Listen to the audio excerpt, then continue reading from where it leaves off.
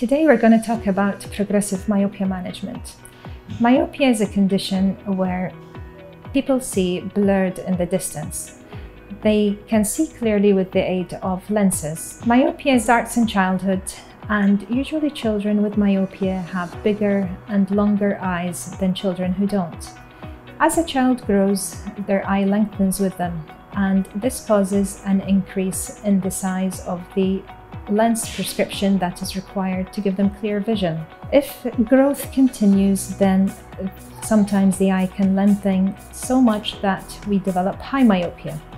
High myopia can lead to serious complications, including retinal tears, detachments, myopic macular degeneration, and glaucoma. Atropine 0.01% eye drops have been studied worldwide and have shown a great efficacy in reducing myopia progression. The success rate is high and this treatment is now readily available. I would encourage you to bring your children, if they are myopic, to see if they are eligible for this treatment.